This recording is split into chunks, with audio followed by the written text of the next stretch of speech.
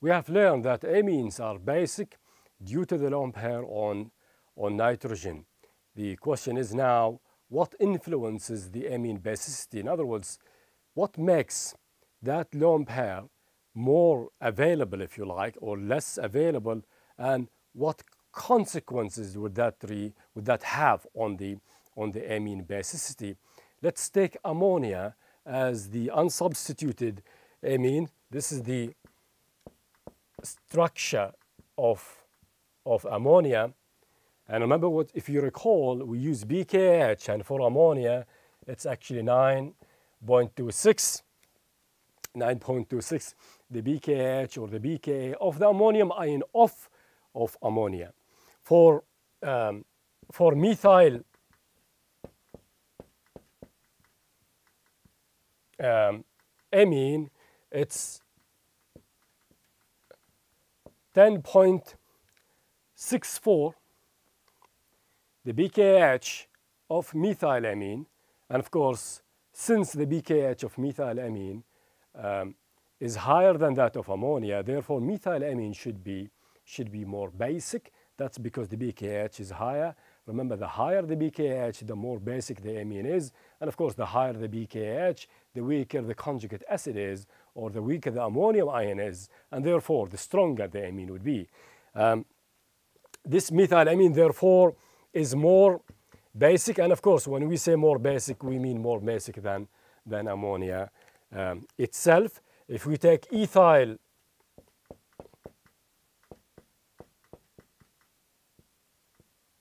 if we take ethyl amine, the pKa H is actually 10.7 5, it's a little bit more, which suggests that ethylamine is actually more basic than methylamine itself.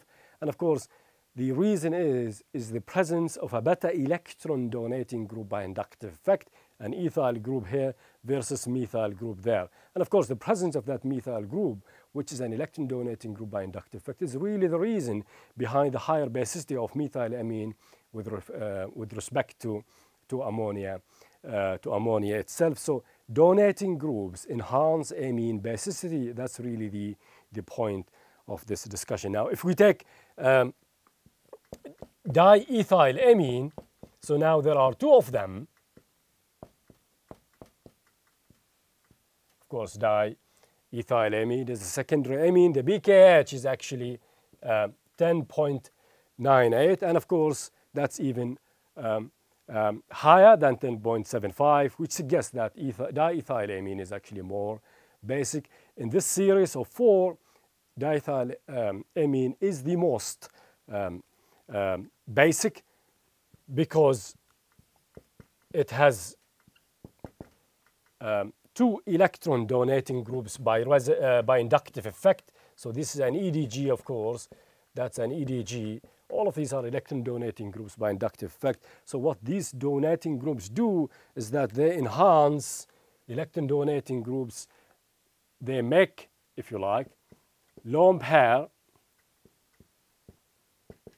on nitrogen more available. And this availability term is extremely important, not only the presence of a lone pair on nitrogen, but also its availability. Any group that can make that can make that lone pair on nitrogen more available should make the amine more basic. Any group that reduces the availability of that lone pair on nitrogen should make the amine less basic. Electron donating groups as a result here, or in conclu conclusion, enhance the amine basicity.